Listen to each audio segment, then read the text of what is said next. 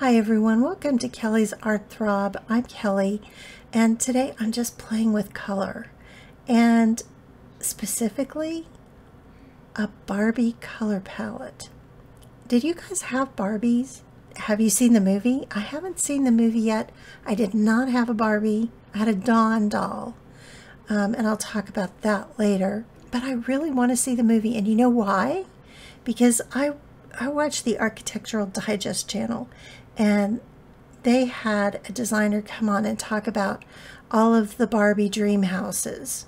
It just inspired me to think of a grown-up color palette because apparently if uh, the movie trailer is to be believed, Barbie's been out of her old neighborhood and she's seen some stuff. I'm not sure what, but anyway, Barbie's older than I am, so I think she needs to move away from bubblegum pink and she needs a more sophisticated color palette. I'm envisioning Barbie living in a post-modern contemporary style house. You know, so it would still have a lot of those real mid-century modern lines, but it would be really updated. And I think her color palette has to be a lot more sophisticated too.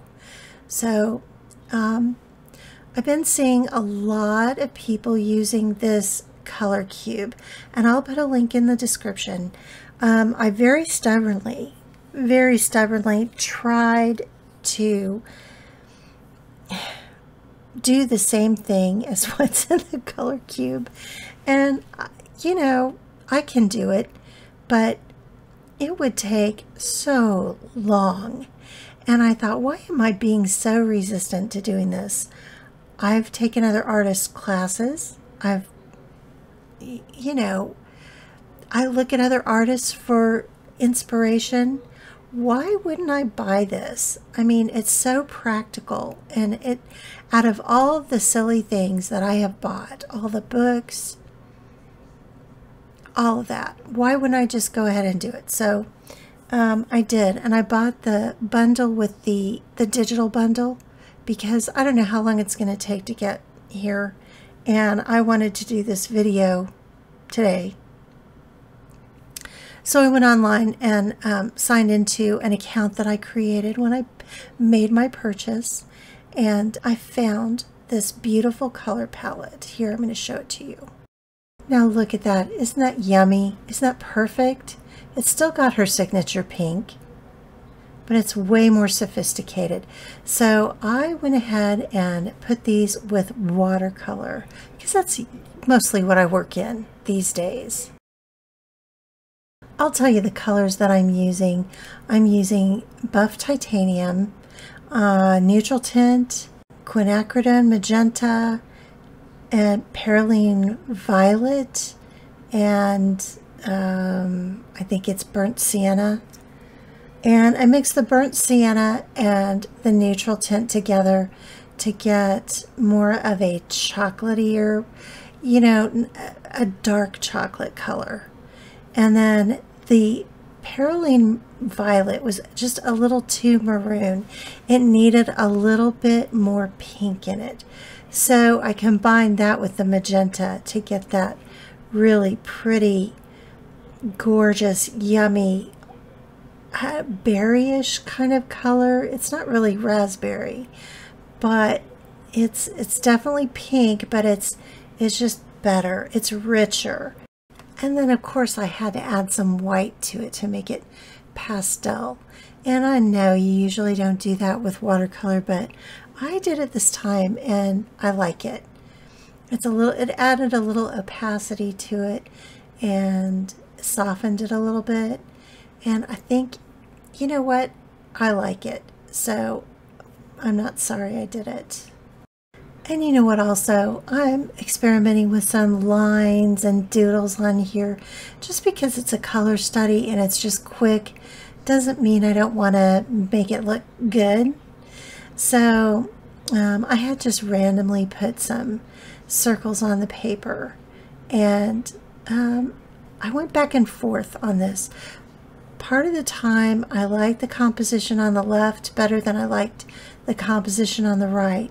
And it just kind of really depended on how I balanced it all out. In the end, you'll have to make your own decision which one you like better. It's not serious art, but I think it's important to emphasize that sometimes you don't have the time or the inclination or whatever to do a serious, like a quote unquote serious piece of art. But there's always something you can do. You can always do a color study. You can always brush up on your drawing skills. There's always something. And so today it was a Barbie color scheme. That's what it was. And some doodles. And while we're talking about Barbie, we need to talk about the Dawn doll, which apparently some of us had, not just me. And Dawn was about 30% smaller than Barbie. And there, at least I didn't have a house or a car or anything. I don't think she came with that kind of stuff. Dawn was a very practical gal. She grew up with a working mom. She was a latchkey kid. And when she got to high school, she didn't want to make her own clothes anymore. So she marched herself up to the mall and got herself a job so she could earn the money to buy her own clothes. Because, as I was told by a male coworker uh, many years ago, the second worst thing to be told about your blind date, besides she has a great personality, is she makes her own clothes. So, so Dawn must have known this because, she, like I said, she went to the mall and she worked at, um, I don't know, the local eatery or establishment was a hostess or something and she earned the money to buy her own clothes and that was Dawn. And no shade thrown at Dawn but they're just not making a movie about her are they yeah, so there's a teeny tiny little piece of me that feels a little ripped off, but not really. But maybe a little. The, the doll that I really liked the most growing up, and you guys, I'm not really, even, I'm not into dolls as an adult. I don't have any dolls or anything, but it made me think of my Crissy doll. Did any of you have Crissy? She was the doll that you could make her hair long or short and you could style it. And she was, she smelled, she didn't smell like strawberry shortcake, but she definitely had her own aroma. Didn't they all though? I mean, all those plastic dolls. Anyway, I don't know. Okay, I'll talk a little bit more about what I'm doing here with the doodles.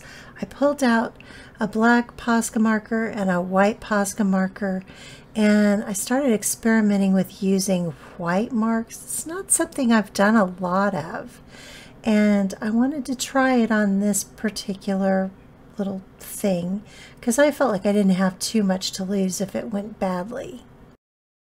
And I really like what I'm going to do here in a little bit where I'm going to take my black um, fountain pen and I'm going to go around these white marks and give them a little bit of shading.